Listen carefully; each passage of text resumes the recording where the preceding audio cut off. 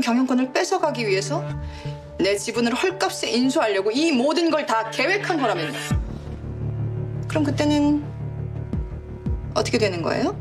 그땐 그 제보자가 사기적 부정거래 혐의로 처벌받게 될 겁니다.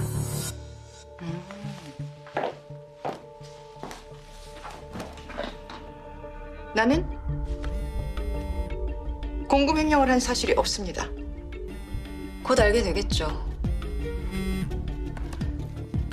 저희 수사관들이 지금 서류상에 기재된 순영데코 사업장에 나가 있거든요. 아, 순영데코가 페이퍼 컴퍼니라는 사실만 입증되면 진 대표님의 공금횡령 의혹은 허위 제보가 아니라는 얘기가 되겠죠. 안녕하세요 วิวออริจินอลยังมีอีกเพียบกดตรงนี้ได้เลยและอย่าลืมกดไลค์ subscribe กดกระดิ่งให้กับพวกเราด้วยนะคะ